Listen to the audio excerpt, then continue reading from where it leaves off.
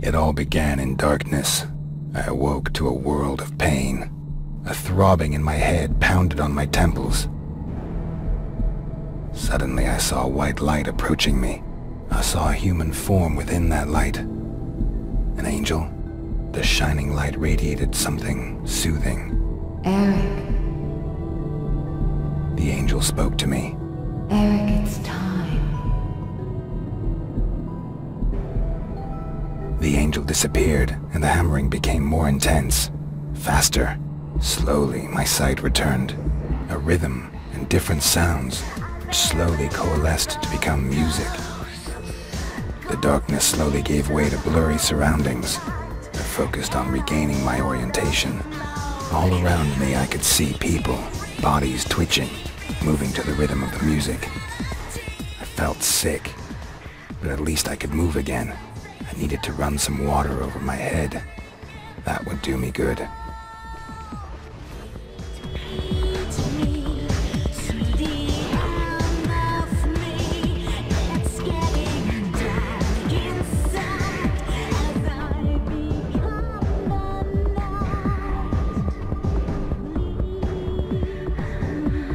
I could barely stand and the nausea was getting stronger. Gathering the last of my strength, I dragged myself on.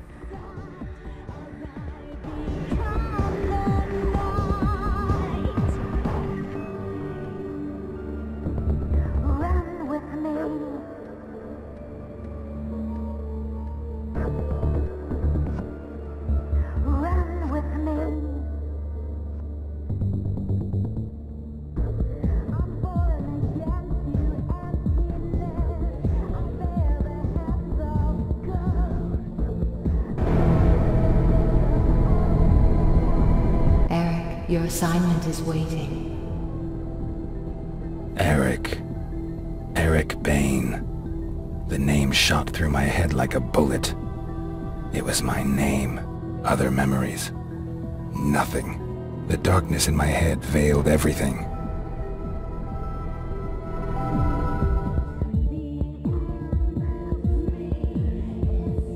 The angel was gone, and so was the pain. It was time to find out who I was. Or what I was doing here.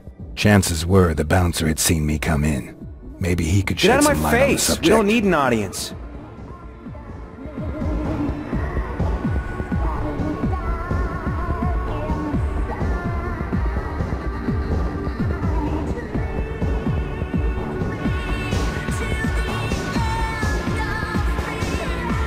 Hi. Yeah? What do you want? I wanted to ask. I couldn't get another word out. The sight of his weapon woke some kind of memory.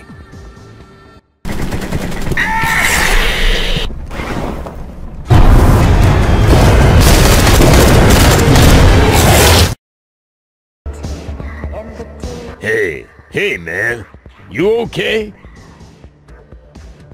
Yeah, yeah, it's okay. I'm doing fine. Did I come to the club alone, or was someone with me? No idea. My shift had only just begun. My boss was watching the door before that. Where can I find him? Well, he's sure to be hanging around here somewhere. Ask at the bar for Tom. That flashback had felt pretty damn realistic, even if I didn't completely understand it. What should I make of it? I made my way back into the club to find the head of security. Maybe he would be able to help me.